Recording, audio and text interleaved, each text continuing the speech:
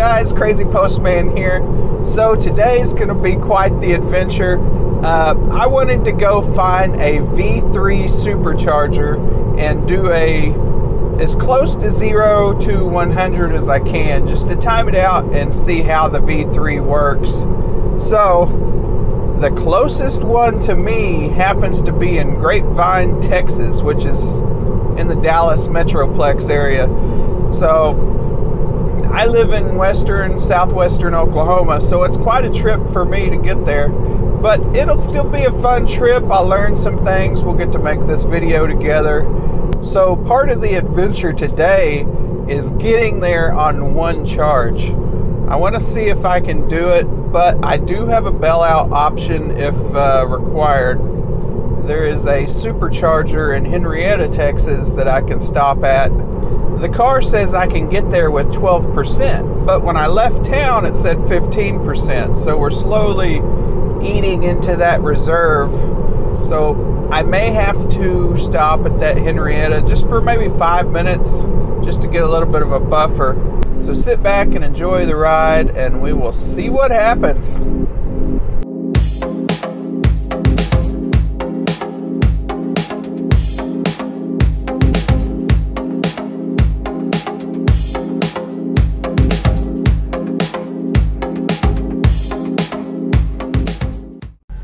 Am sitting at the Henrietta supercharger here.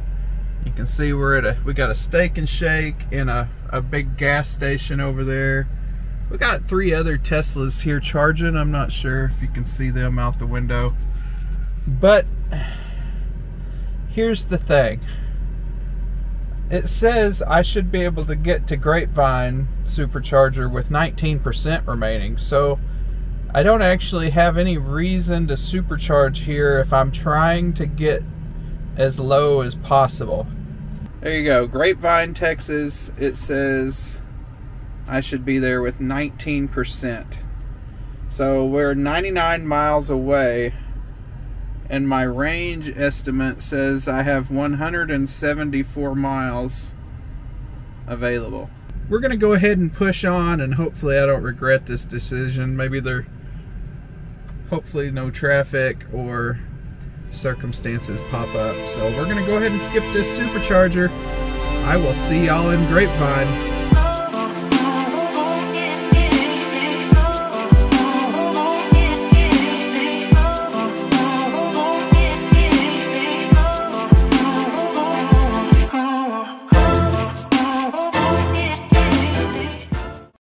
Okay, so we've had a slight development I'm coming into town with 20% remaining.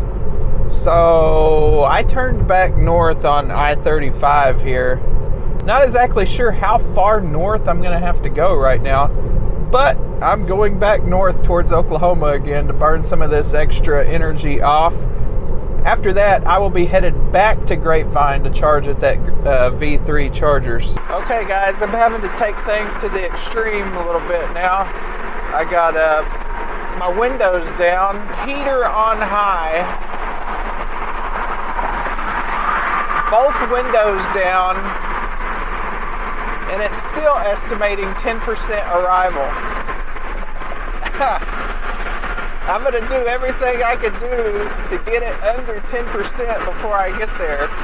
This is ridiculous. I never thought my Tesla would go too far on a charge. I can't believe I got all the way here from western Oklahoma with 20%. All right, here I am in Grapevine, Texas.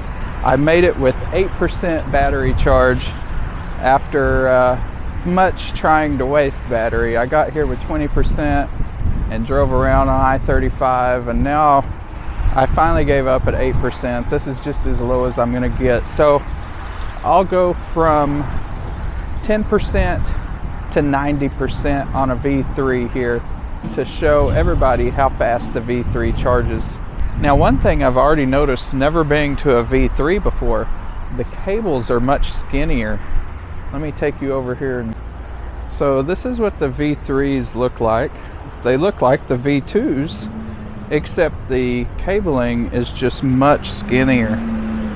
It's, it's slightly thicker than the home cable but it is very nice and skinny. Okay, here we are. We're gonna plug her in. She had a long journey. And that is a nice skinny cable. I like it, not heavy at all.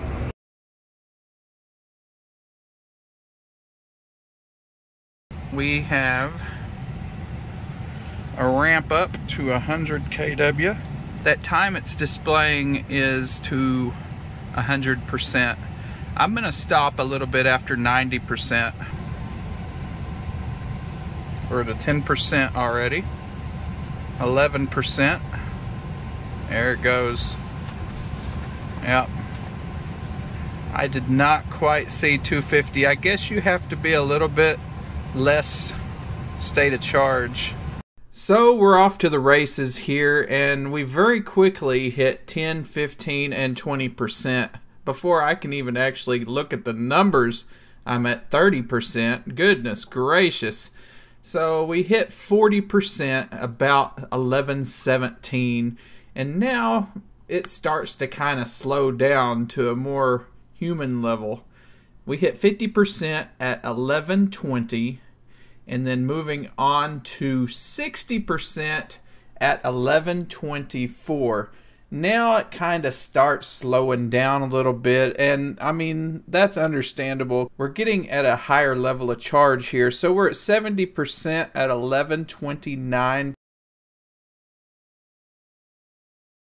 man it's taking a little bit longer to get to 80 80% at 1136 and now is going to be the longest stretch to get to 90 because those kilowatts are going down quick. But we get there. 90% at 1145. And if you break those numbers down, that's 10% to 50% in 10 minutes and 10% to 90% in 35 minutes. This is an interesting chart here, very useful. So you can see the battery level where we start, and that's down at 7%. And then you can see it all the way up to 100%, well, 90%. That's where I stopped charging. Well, this uh, one on top is uh, the charger output. So you can see we maxed out at 243 kW at about 15% and then it kind of comes down we have this weird little notch here and then it just continues to taper on down until the end. So I just wanted to leave you with this little uh, nice little graph here to show you what we did at the V3 supercharger in Grapevine, Texas. So that brings us to the end of the video. I want to thank you for watching this and you know do all the YouTube things, hit that like and subscribe. And the best thing, if you want to watch my videos, is to hit that little bell because uh, YouTube doesn't like to show you everything you want to see. They want to show you what they want you to see. But you hit that little bell, and every time I post something, it'll pop up on your phone. You don't want to watch it, you can swipe it away. But thanks for watching this episode, and I will see you in the next one.